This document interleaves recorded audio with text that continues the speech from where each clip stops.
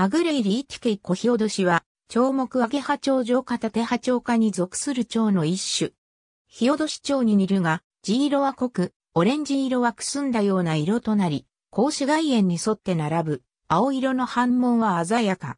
格子公園から羽の付け根にかけては、縦葉鳥類らしく毛がたくさん生える。前肢公園は、北手葉や、シタテ葉のようにえぐれず、直線的。触覚は、棍棒状で、先端は白くなる。飛び方は敏捷。ヒオドシとはあまり近い関係ではなく、本種はより冷涼気候を求め、また樹液や負荷を好むヒオドシに対し本種は鼻によく集まるなど、生態的に違いが見られる。夏に羽化した成虫はしばらく高所で生活するが、秋頃越冬地を求め、時には大群となって下山する。そのまま成虫で越冬し、翌年の春に山上に戻って産卵する。幼虫の食草は、細葉イラクサムカゴイラクサなど、葉の裏に多数固めて産みつける。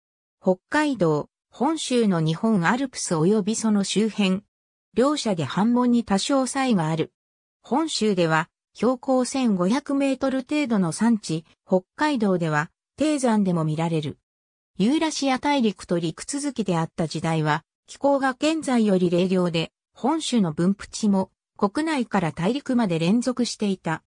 温暖化と海峡成立により、列島内に個体が取り残され、それらが冷涼地を求め高所に逃れることで、現在のような鉱山町となった。